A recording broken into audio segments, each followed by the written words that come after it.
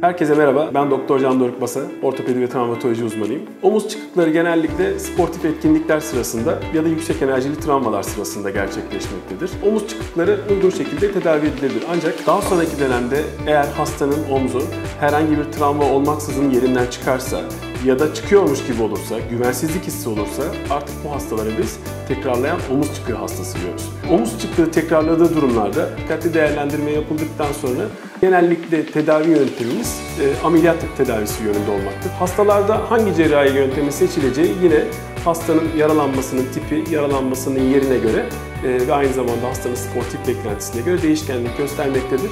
Hastanemizde e, tekrarlayan omuz çıkığı ile ilgili bütün tedavi yöntemleri hem artroskopik hem de diğer yöntemler e, başarıyla uygulanmaktadır.